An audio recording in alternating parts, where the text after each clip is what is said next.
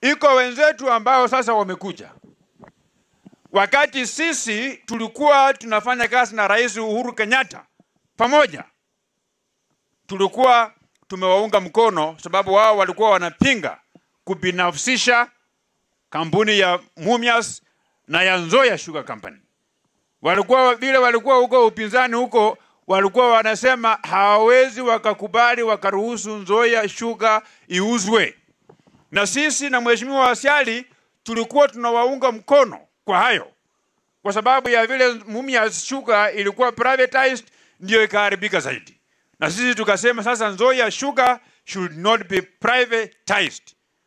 Sasa saa hii wao vile wameenda kusalimiana na Rais Uhuru Kenyatta huko, sasa wote wamegeuka, wanasema Nzoia Sugar iuzwe, Mumias Sugar iuzwe. Sasa hao ndio wamekuwa proponents that our sugar factories should be privatized. I'm asking them what changed.